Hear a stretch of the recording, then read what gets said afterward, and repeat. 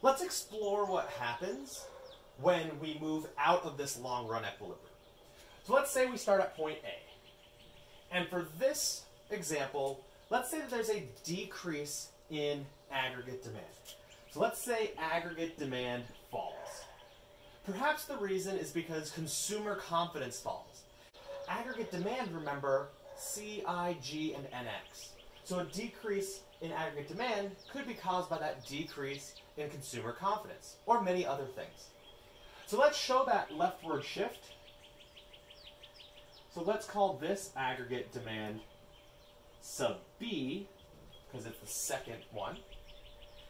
What we notice is we get to this short run equilibrium with a lower price level and a lower level of output.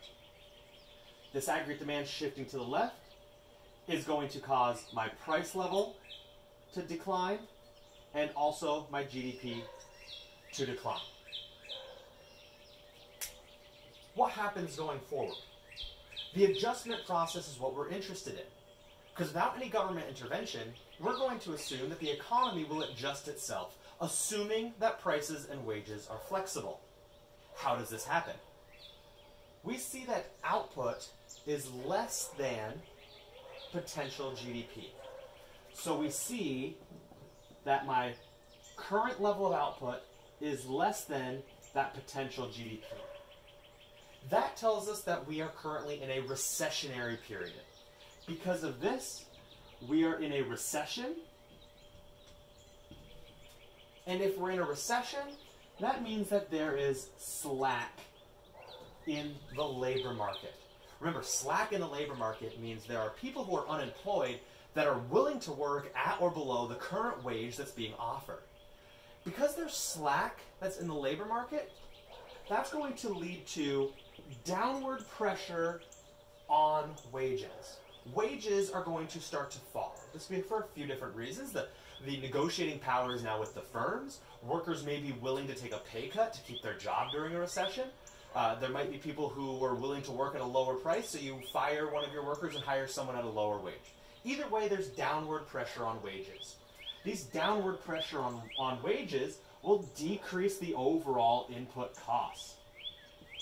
It'll also decrease the overall expected future price level because if wages are going down and uh, firms are going to have to start accepting lower uh, prices for their products, we're going to start to see that price level drop.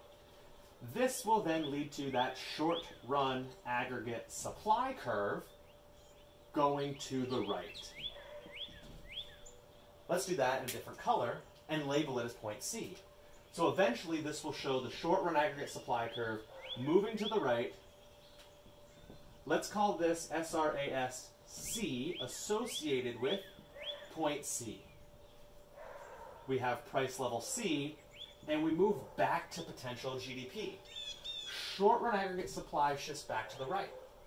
This results in the price level going down even further, but output goes back to my potential GDP. So my unemployment rate's back to that natural rate of unemployment. So what happens going from A to B to C?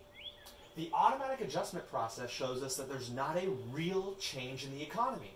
Sure, people's wages are lower, but the price level has adjusted, right? We see a further decrease in the price level. This is what we mean by in the long run, prices will adjust, and so there's no real change, there's no real impact on output in the long run. So this example was if we started out with aggregate demand declining, putting us into a recession.